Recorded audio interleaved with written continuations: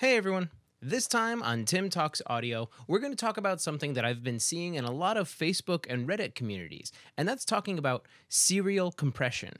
Serial compression isn't mushing down on your favorite breakfast cereal, but it's actually stacking compressors to go in a series to do a certain amount of dB reduction per compressor opposed to using just one compressor and kind of pushing it a little bit harder.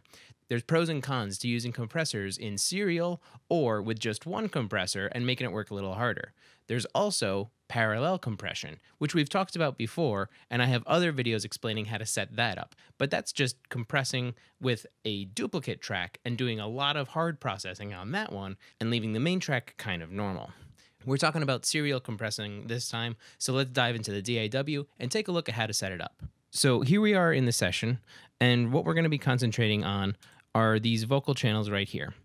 On this lead vocal, I actually have already gone ahead and put a Pro EQ first in line, and I was just getting rid of some stuff that I didn't like. I followed that up with an instance of the fat channel set to the tube comp mode, and not just the stock compressor. I followed it again with the FET comp, and that's this one here. Both of these plugins are the same channel. It's not like two different plugins on two different channels.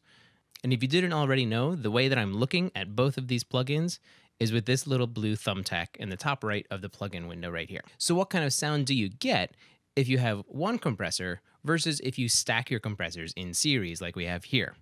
Well, right now I have these two compressors in series. But what we're going to do is we'll turn both of these off and we'll just throw the stock compressor on and get some settings. So here we go. Pro EQ is still on. We've turned off both instances of the fat channel, and now we're just using the stock compressor. Let's see what we can do to these lead vocals real quick and get some pretty basic settings.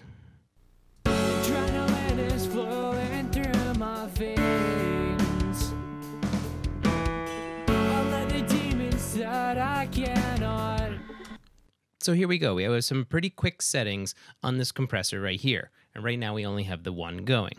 You could see that at one point I had 10 dB of gain reduction that I I thought made this vocal sound pretty good. But that's making this one compressor mm, sort of work a little hard. To really even this vocal out, I needed to push the compressor a little bit harder, and maybe that's not the sound you're going for. So let's go back We'll turn this one off and we'll bring up our instances of the fat channel and turn these guys on. Remember, I have the tube comp before the FET comp. So let's start with just one. We'll take the FET comp out and just use the tube comp.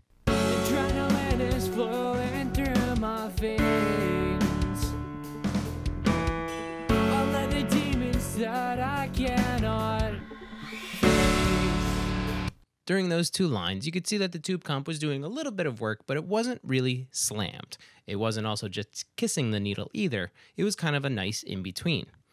But there were some like really sharp transients that were coming through from his vocal performance that maybe you want to tame as well.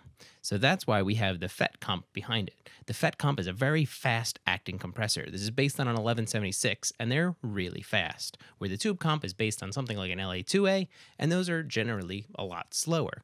Those are meant to kind of smooth out the, the sound as a whole, and the FET comp or the 1176 style compressor is really meant to tame those transients. Let's put these on in series and see what it does.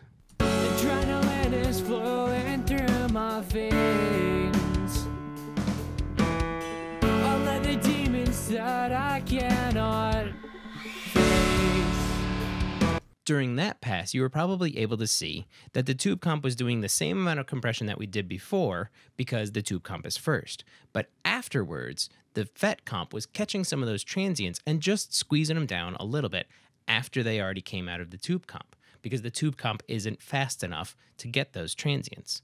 What you could also do is actually take your FET comp and put it before your tube comp. Now, I don't know if you saw that, but I just dragged the compressor to the different spot in my chain. And so now the FET comp is first and the tube comp is second.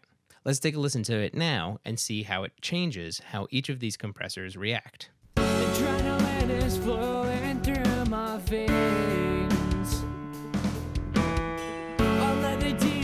That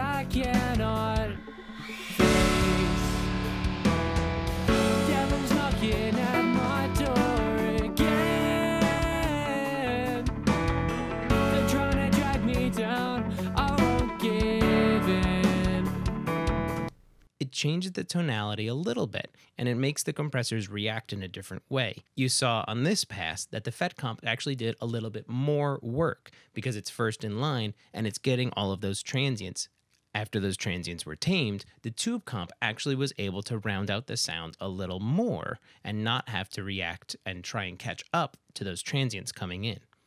Lead vocals aren't the only thing that benefit from using serial compression. You could also use it on your drums, where you can do a little bit more of a faster transient kind of compression on the shells themselves and doing a slower compression on the drum bus. There's lots of different things that you could do, and make sure to experiment yourself to find out what you like. Because you're working in a DAW, you're only limited to the processing power of your machine to dictate how many compressors you can put in serial to get the sound that you're going for.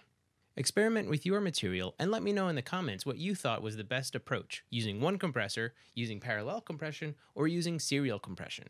That's all for now. If you found this video informative, please like and share the video. For more, visit timflanzbaum.com, and if you have a question, ask it in a comment and I'll answer it in a future video. Thanks for watching.